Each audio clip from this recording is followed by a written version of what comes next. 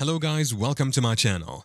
In this video, I'm going to show you how to log out of Messenger on all devices.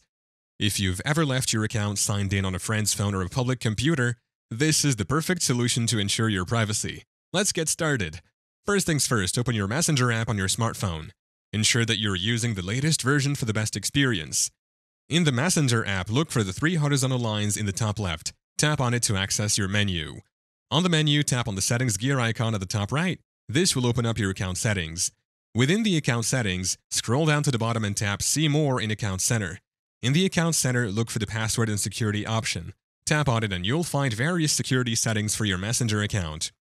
Inside Password and Security, find the option that says Where you're logged in. Tap on it, then select your profile associated with your Messenger account. This will show you a list of devices where your Messenger is currently active. To log out, simply scroll down and tap Select Devices to log out.